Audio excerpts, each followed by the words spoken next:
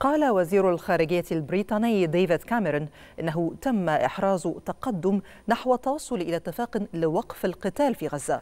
وبعد جولة في الشرق الأوسط أشار كاميرون إلى إحراز تقدم على صعيد جلب المزيد من المساعدات وإطلاق سراح المحتجزين الإسرائيليين في قطاع غزة.